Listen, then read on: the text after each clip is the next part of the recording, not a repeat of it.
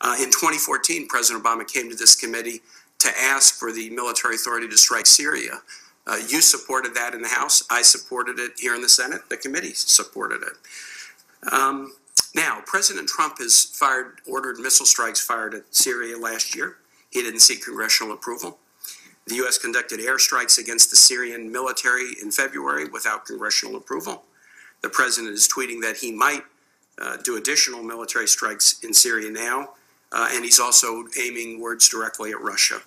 As far as I know, Syria has not declared war against the United States. Has Congress given the president specific authority to wage war against Syria? Uh, And, and you would agree with me that waging a war requires both a domestic and an international legal justification. yes, yes, yes, Senator, I would. and we made it and we made it worse. We brought chaos to the Middle East. It, we are still suffering the ramifications and repercussions of the Iraq War. But your president said it very clearly.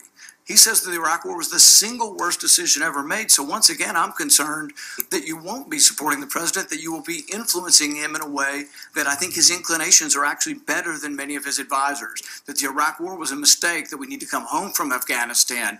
He was against being involved in Syria at many times in his career. So I think he does have good instincts. And my main concern is that will you be one who will listen to what the president actually wants instead of being someone who advocates for us staying forever in Afghanistan, another Iraq war, bombing Syria without permission? So these are the, the advice you will give. And I guess that's my biggest concern with your nomination is that I don't think it reflects the millions of people who voted for President Trump who actually voted for him because they thought it'd be different, that it wouldn't be the traditional bipartisan consensus to bomb everywhere and be everywhere around the world. So that's my main concern, and I just want to make sure that that's loud and clear to everyone. That is my concern.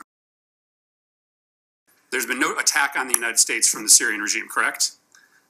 Senator, that's correct. And there's no imminent threat of attack on the United States from the Syrian regime. Senator, I'm just trying to be very careful. Yes, I, I, I think that's, I think that's correct.